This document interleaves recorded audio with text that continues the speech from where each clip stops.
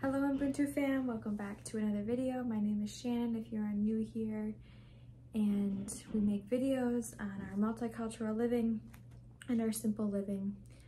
We are expecting baby number two and today I'm going to show you what I have included in our hospital bag.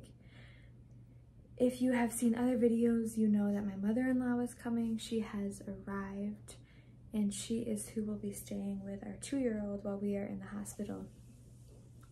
Now that she has arrived, it feels like the baby can come. and so I finally got around to putting some things in the hospital bag. And today I'll show you what I have.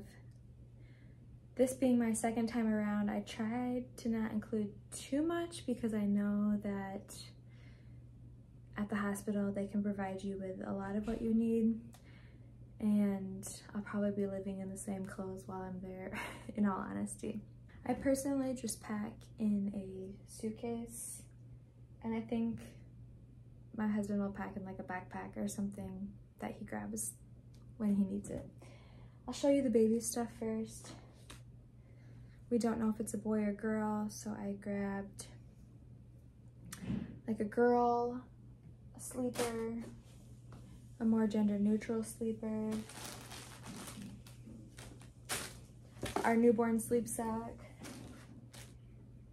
and then a couple onesies,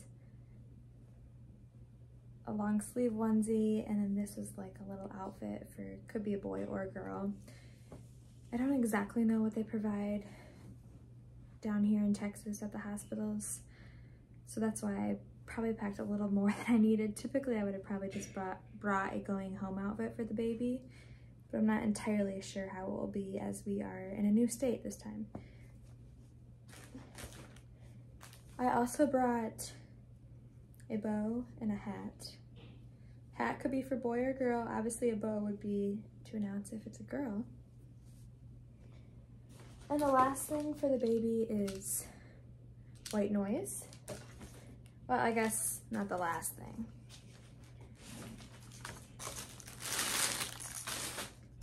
This was the baby's picture maybe, this one was maybe at like 15 weeks. Our, off, our OB office doesn't print ultrasound pictures, so it's kind of a chore to get them printed. So I don't have too many. I think this is the only one I have. But with our first pregnancy, we announced like the name and the arrival of the baby all through a letterboard. So on the letterboard, I will put the baby's name, the date they were born, and then the weight and length of the baby. So I have the letters for the letter board. And this was so helpful with our first baby because instead of having to text everybody the details, we had one picture and we could just send it out to groups of people or individuals and then it had all the details on it. And so I plan to do that again with this time. No name on it as we're not sure of the gender and the names are a little bit up in the air right now. Okay, the last thing that I have is a note and if you know, when you give birth here, they supply most of what you need in the hospital and there's some things I want to make sure we come home with so specifically for the baby, I have things on here like grabbing some baby Vaseline tubes, um, things like that. The rest of the stuff is things that I want to make sure I grab extra of before we head home, like mesh underwear, nipple cream, um, extra pads, things like that. So I do have a note with what I want to make sure we take some stuff from the hospital home with. And then I guess I'll show you the back of this note.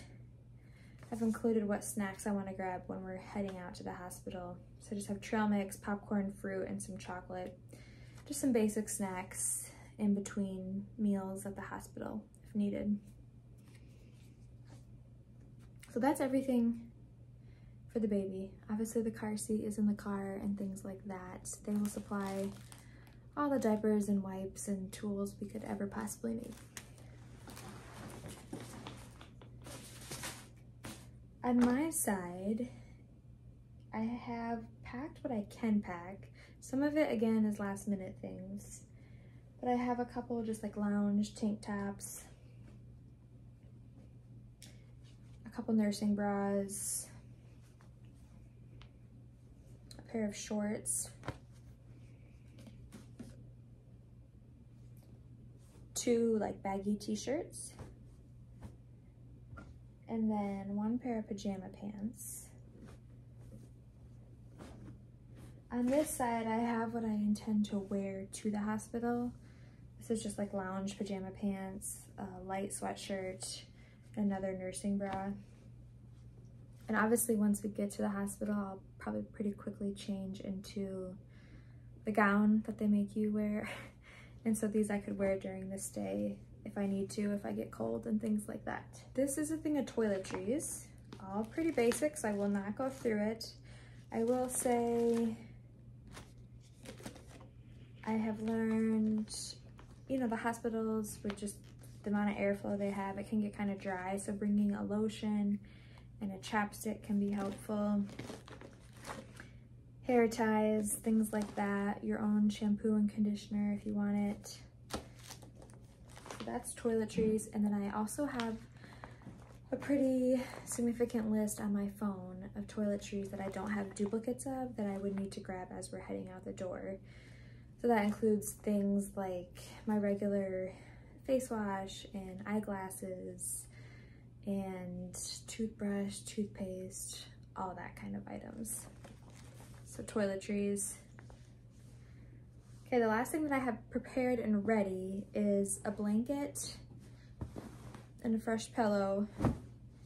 And that I found would be helpful. I did not bring these items the last time and I wish I had them just because they're your own items and they bring comfort when you're sleeping in a hospital bed. I found the hospital bed pretty uncomfortable our first and I actually moved to like the chair that's in the room. My husband went to the hospital bed for the second night we were there because I was I was just done with the hospital bed, I guess. So these items hopefully will make it a little bit more comfortable along the way.